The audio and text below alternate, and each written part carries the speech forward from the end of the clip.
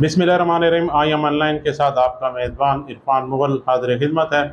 आपको अली अमीन गंडापुर के मुतल और पी टी आई के मुस्तबिल के हवाले से कुछ इन्फॉर्मेशन देनी थी।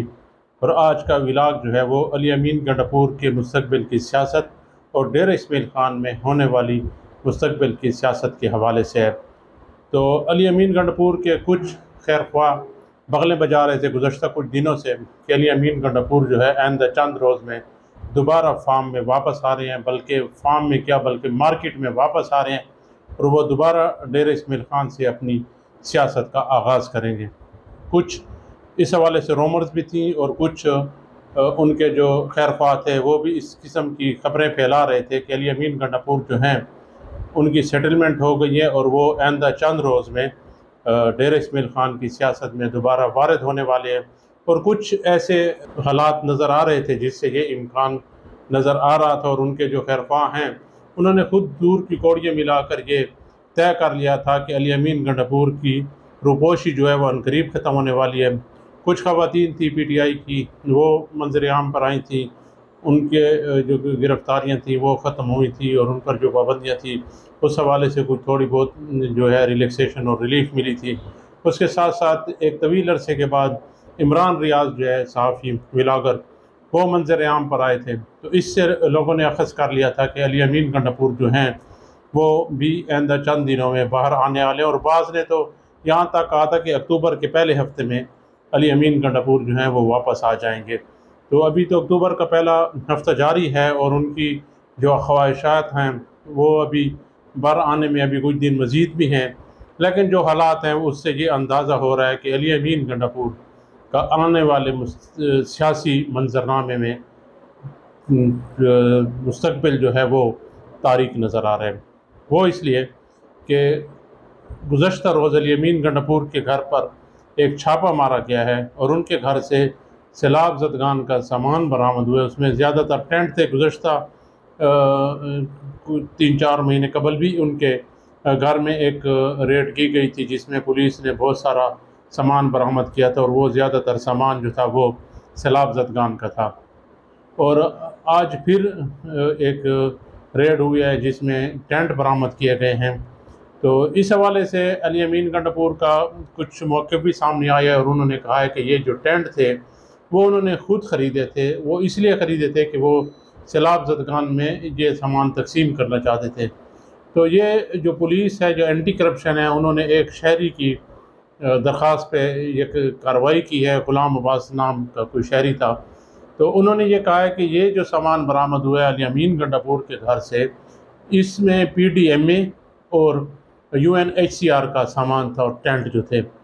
तो अब ये एक अलग सवालिया निशान है, बल्कि ये अली अमीन अपने ख़िलाफ़ खुद चार्जशीट पेश कर रहे हैं कि वो कह रहे हैं कि ये सामान उन्होंने मार्केट से ख़रीदा था वो इसलिए कि वो गरीबों में या मुस्तकिन में या सैलाब जदगान में इसको तकसीम करेंगे। पी डी एम ए का गवर्नमेंट का सामान और U N I C R का सामान जो यू एन ओ की तरफ़ से आता है, मुतासरीन सैलाब के लिए आया था, वो सामान पहली बात तो यह कि मार्केट में बेच कौन रहा था और दूसरी बात यह कि ख़रीदने वाला कौन था। ये तो खुद अपने ख़िलाफ़ चार्जशीट पेश कर रहे हैं कि एक सबक वफाकी वज़ीर, बल्कि जब ये सामान ख़रीदा गया होगा तो वो यकीन उस वक्त मिनिस्टर भी होंगे तो वो सामान मार्केट से कैसे ख़रीद सकते हैं? ये तो खुद एक जुर्म है जिसकी वो खुद एतराफ़ कर रहे हैं कि गवर्नमेंट का सामान और इंटरनेशनल इदारों का सामान जो मुतासरीन सैलाब के लिए आया था, वो एक वफाकी वज़ीर ख़रीद कर मुतासरीन में तकसीम करने की बात कर रहा है। ये तो अपने ख़िलाफ़ वो खुद चार्जशीट पेश कर रहा है। वो ख़ुद तस्लीम कर रहा है कि वो उसने गलत काम किया, क्योंकि ये सामान तो मार्केट में बेचना या ख़रीदना दोनों जुर्म हैं। तो बेचने वाला जितना जुर्मदार है, उतना ख़रीदने वाला भी जुर्मदार है। तो यकीनन ये अली अमीन गंडापुर ने एक सियासी स्टेटमेंट तो दे दिया कि मैंने ये ख़रीदा था, लेकिन उनको इसके पैसे पदरता महरक़ात का शायद इलम नहीं होगा कि वो अपने ख़िलाफ़ एक चार्जशीट तैयार कर रहे हैं। दूसरा यह है कि मैंने जैसे पहले बताया कि आंदा चंद रोज़ में उनके मंजर आम पर आने की खबरें चल रही थी। तो इस वाक़े के बाद और जो कार्रवाई की गई है, महकमा एंटी करप्शन की जानब से। तो ये पता देती है कि अली अमीन गंडापुर जो है, वो अभी मंजर आम पर नहीं आ रही। और शायद हुकूमती इदारों ने यह कार्रवाई की भी इसलिए हो कि जो लोग बगलें बजा रहे थे या जो लोग ये कह रहे थे कि अली अमीन गंडापुर मंजर आम पर आ रहे हैं, कि उनको मैसेज दिया जाए कि अभी उनके आने का कोई इम्कान नहीं है।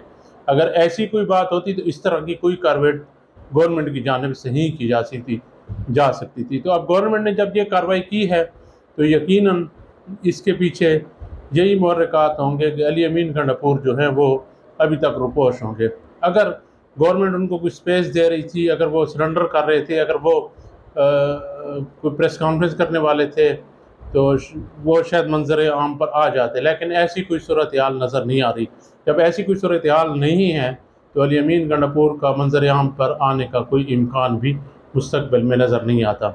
और ये भी इम्कान है कि अब आपने देखा होगा कि इमरान खान के हवाले से बातें हो रही हैं कि इमरान खान को शायद बाहर किसी मुल्क भेजा जाए, बाहर से जैसे अब नवाज़ शरीफ वतन वापस आने की बातें कर रहे हैं तो नवाज़ शरीफ इमरान खान के मतलब भी कहा जा रहा है कि उनको भी शायद बाहर भेजा जाए।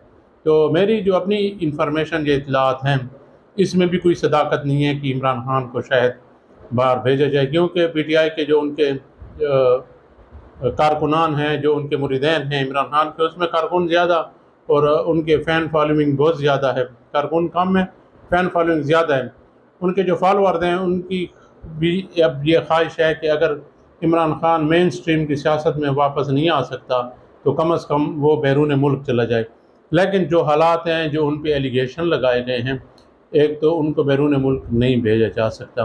नवाज़ शरीफ पे जो इल्ज़ाम लगाए गए थे, वो सबको पता था कि वो सियासी इल्ज़ाम थे वाक़ात कुछ और थे और इल्ज़ाम कुछ और लगाए गए थे और उनको जो मुल्क से या इकतदार से निकाला गया था तो उसके पीछे मरक़ात के क्या थे, वो हर किसी को पता है। लेकिन इमरान खान के पीछे सख्त जो हैं वो एलिगेशन हैं। नौ माई का जो वाक़ है, वो उनकी सियासत के लिए और उनके मुस्तबिल के लिए एक सवालिया निशान खड़ा कर रहा है।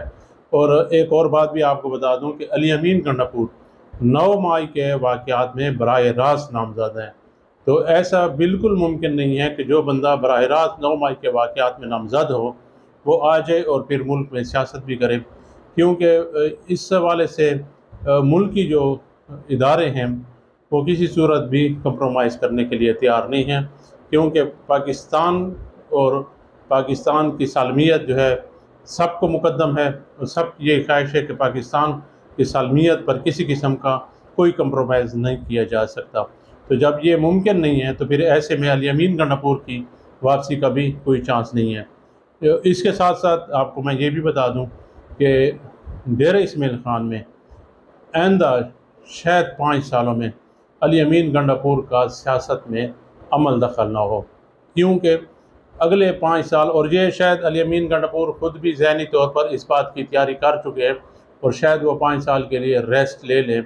तो मुमकिन है कि वो आगे उनका दोबारा उनको आगे आने वाले इंतबात में मौका मिल जाए।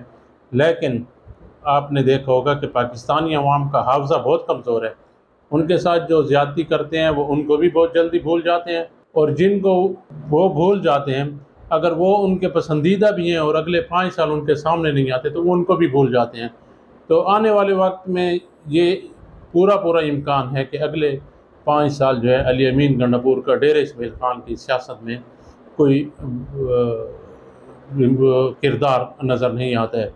तो इसके साथ ही अपने मेज़बान इरफान मुग़ल को इजाज़त दीजिए। कुछ नई बातों के साथ, कोई नए विलाग के साथ इन कल फिर हाजिर होंगे। तब तक के लिए इजाज़त दीजिए। अल्लाह हाफिज़।